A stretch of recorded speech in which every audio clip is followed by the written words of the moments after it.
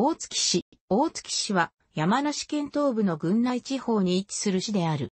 県東部に位置しており、東京都心からは約 80km の距離にある関東大都市圏の都市である。地域面積は広大で、郡内地方は秩父山地や三坂山地、丹沢山地などに属する山間部にあり、市街地は南部を通流する桂川、相模川や、支流の笹子川、葛野川などに沿って急峻な山と深い渓谷に挟まれた平坦地に形成されている。北部は山岳地帯。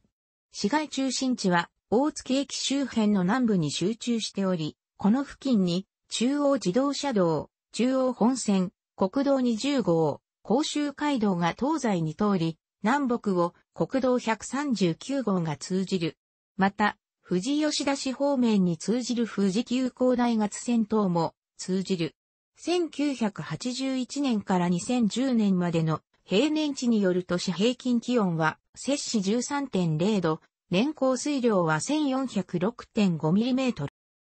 柳川町、府浜町、猿橋町、七穂町、新岡町、大月町、初刈町、笹子町の地域区分がある。郡内地方は、相模川水系をはじめとする河川の貸し段球場に多くの考古遺跡が散在し、地域でも縄文時代の遺跡は80カ所以上が確認されており、定住痕跡も見られる。郡内では平坦地に乏しいため縄文後晩期には遺跡数が減少し、弥生時代以降の遺跡は極めて少ない。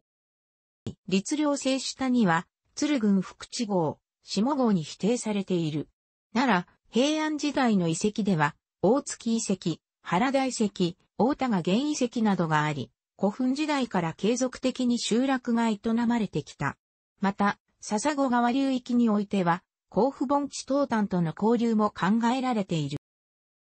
地域西部の計り層は、平安時代に武蔵七島横山島の分流、古軍師の丘陵で、鎌倉時代の建略3年、1213年に古軍師が和田合戦に加担して滅亡した後には、千明門院領となり、武田氏や島津氏が地頭となっている。戦国期に軍内領主として出現する小山田氏が、鶴市域に本拠を構え、大月市域でも、合村支配が確認されている。岩殿さんは、主言者からの信仰を集めた霊山で、小山田氏や国中地方の武田氏、江戸期には、谷村藩主秋元氏らの保護を受けた、円通寺があった。地域東部の猿橋は、百済の渡来人が架橋した伝説を伝え、日本三奇橋の一つに数えられているが、交通の要衝でもある付近の地域故障でもあった。鎌倉大蔵氏によれば、応永34年には、関東久保の足利持氏が、武田信長追悼のために、一式持ち家を派遣し、猿橋の地で合戦が行われたという。また、戦国時代には大永4年、1524年に、武田信虎が猿橋を拠点に、相模国奥、三方、神奈川県津久井郡まで出陣して、北条氏綱と戦っている。軍内領主の小山田氏は武田に服属し、岩戸の山に岩戸の山城を築いている。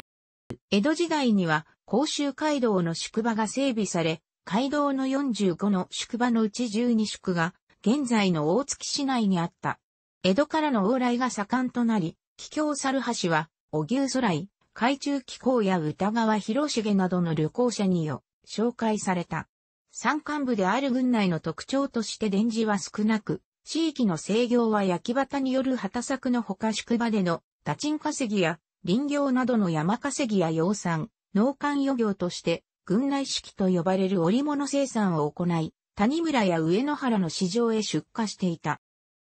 第二次世界大戦後期は日本を空襲する B-29 が富士山から東京空襲のため東に向かう経路にあることから陸軍の防空監視省が複数設けられた。1945年8月13日、終戦の2日前に、市内の工場への空襲があり、勤労動員されていた、生徒らが被害を受けた。織物産業は、戦後一時期まで基幹産業であったが、現在では衰退している。市内に、勤務先は乏しく交通機関の整備により、東京圏に組み込まれ、勤労者の多くが東京都多摩地域の企業などに通勤してる。ただし2000年頃から長期不況による都心回帰減少により通勤者及び人口は減少しつつある。大月市では一部の区域で住居表示に関する法律に基づく住居表示が実施されている。郵便番号。